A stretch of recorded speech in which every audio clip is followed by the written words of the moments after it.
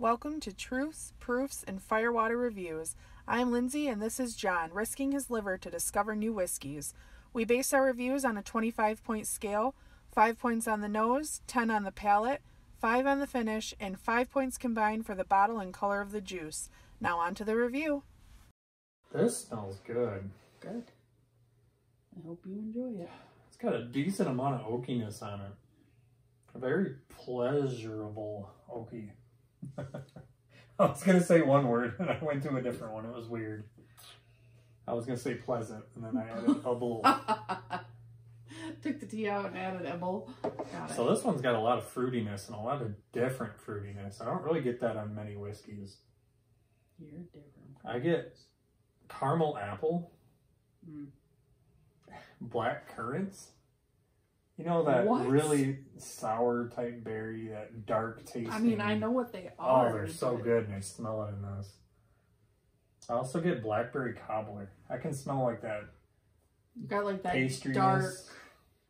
It's dark dark, it's sweet, smell. it's yeah. But I still do get that apple in there too, and that caramel. I like what it's doing to your cup too. I get a small amount of alcohol. Really don't get much alcohol on this. And the wood just seems like some nicely seasoned wood. It seems like it's been sitting in the wood a while. It's got a nice smell to it. Sitting in the wood a while. So yeah, oaky, dark fruit.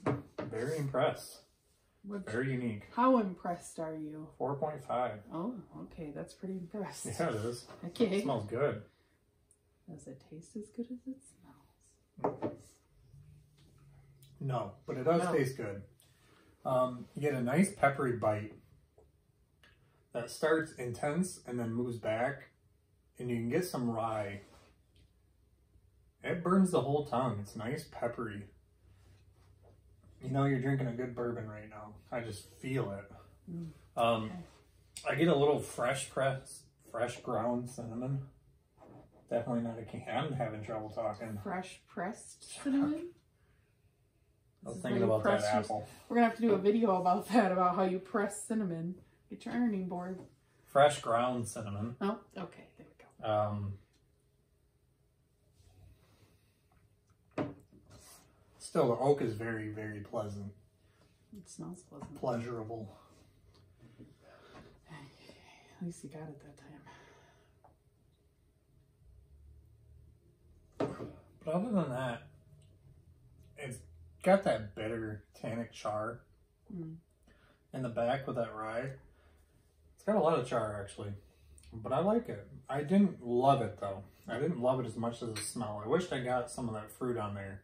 Maybe get a little apple, maybe toward the Something the different. finish though. A little vanilla too, but 7.75. Still a good score, just not at where I want it to be. Okay. How about the finish?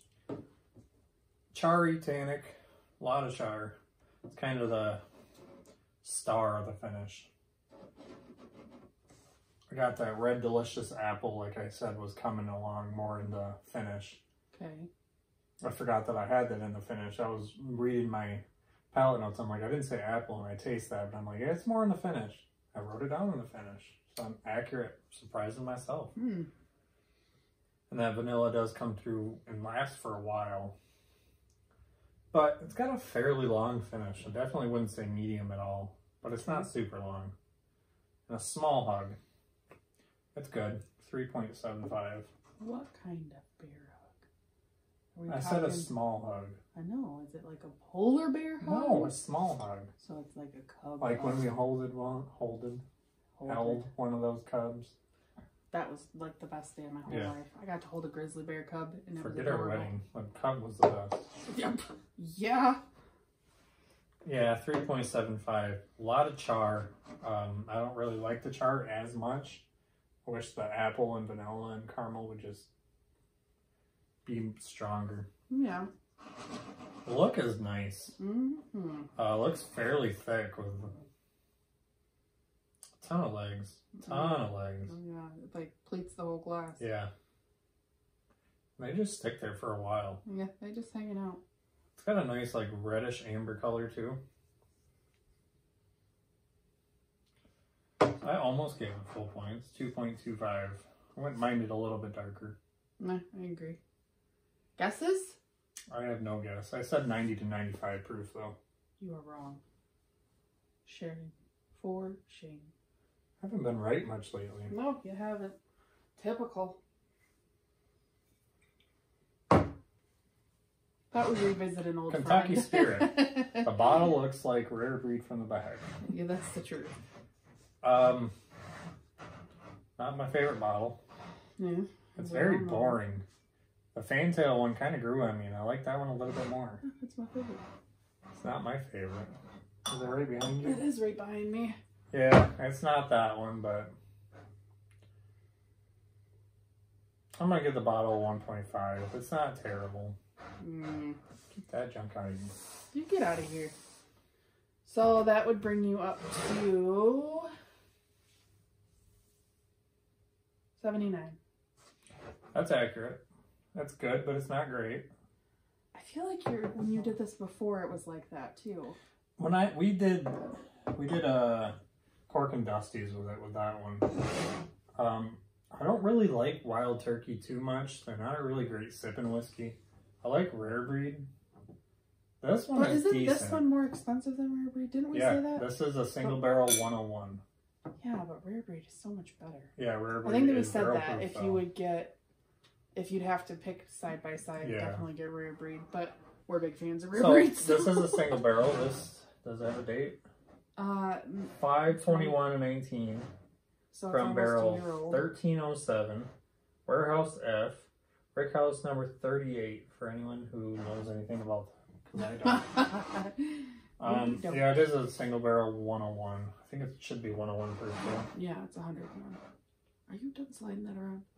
It's got your boob on the bottom. You can see it through the bottom. So you get a lot of char on it because they use an alligator char, number four, Oof. the heaviest char you can do. Yeah. I think that's what shies me away from wild turkey a little bit.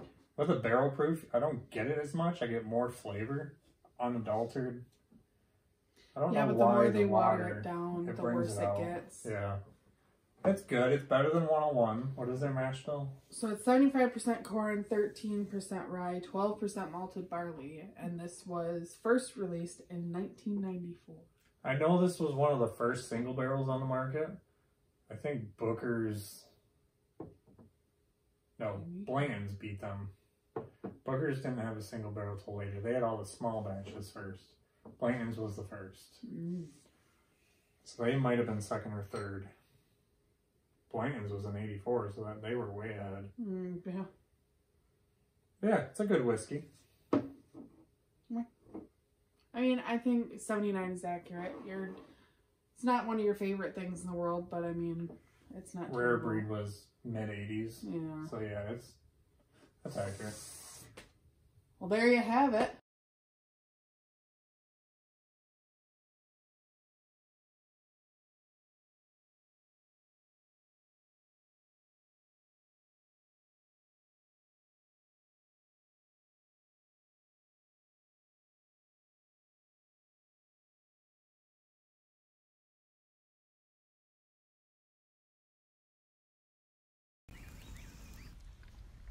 So that wraps up this review. Leave a comment if you have tried this whiskey and let us know what you thought. Please like and share to social media, subscribe to our channel, and don't forget to leave a suggestion for our next review. Thanks for watching.